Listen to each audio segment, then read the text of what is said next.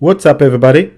In today's episode I'm going to teach you how you control the temperature in a specific area. For example, if you have an office that you use just during the day or guest bedroom or nursery, you want to do a different temperature. So the main thermostat is located in the living room and you want to add the second thermostat that control the temperature in that particular room.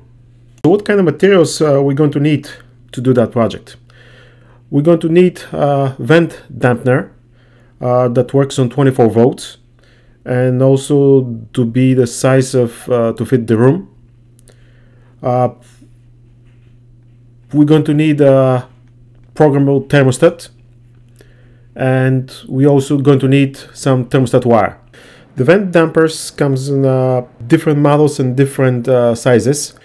Usually they're between uh, 6 and 8 inches and depending on your room you have to uh, choose the correct one. So in today's episode uh, we're going to be adding a second thermostat in a new office that we're making in a basement and we're going to be mounting the vent dampener on the duct that you see right here. We will be using a, a 7 inch damper as uh, the room is 150 square feet. So that's how it looks uh, after the installation. That's just the temporary uh, setup just to test.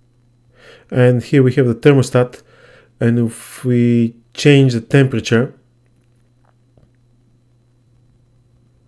we're going to see that a couple seconds later the damper start uh, opening up and letting the air in.